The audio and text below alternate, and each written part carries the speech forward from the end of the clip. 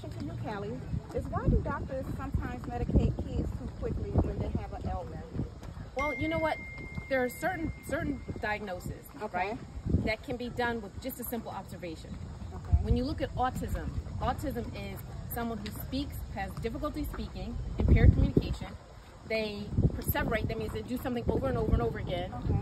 Or they feel socially awkward, like they feel uncomfortable in a crowd. Okay. So those three things, they could go with grieving, they could go with relocating to a new area, they can go with a lot of different things. Okay. Um, but one of the key things is self-awareness, like Right. helping people to understand how they communicate, like Mhm. helping kids understand how they communicate, helping teachers understand how to communicate with kids, Right. so that we can ask the proper questions to dive deeper into those three things Okay. right? Yes. And so I'll give you an example. I'll give you an example. So I have a son who has PDD-NOS, right?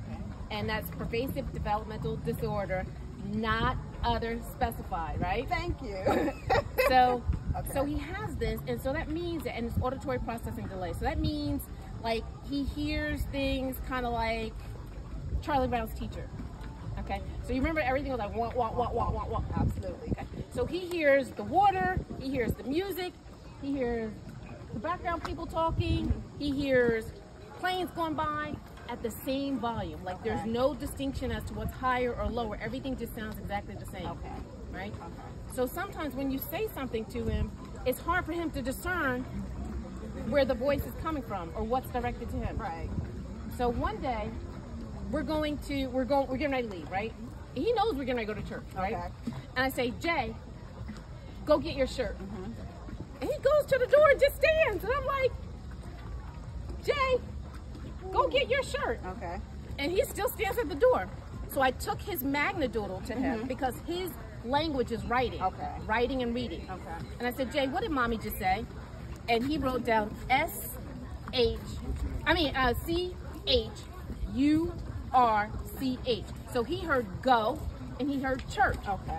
Now, if you're a clinician and you don't take the time to discern like what exactly he's saying, Mhm. you're gonna say, well, he has oppositional defiance disorder. Right. Right? Okay. Or, you know, he's just indifferent or he's depressed and that's Mhm. why he's not following directions. Mhm. But really what happens sometimes is they get anxious Right. because they can't figure out which sound is directed to them. Okay. So. Overwhelmed. Is too much. Yes, all these different sounds. What's for me? okay. And so, if a clinician doesn't take the time to do a deeper dive into Mhm. self-awareness, um, then it could be harder for a child to get the right diagnosis. And that's why I wrote my book. Shameless plug. Shameless plug.